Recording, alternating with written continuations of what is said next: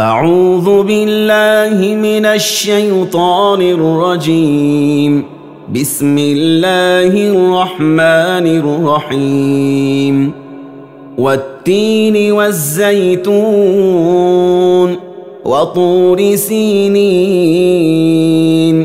وهذا البلد الأمين.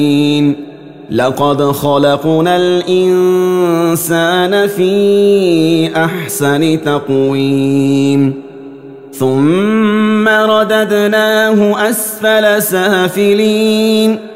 إلا الذين آمنوا وعملوا الصالحات فلهم أجر غير ممنون.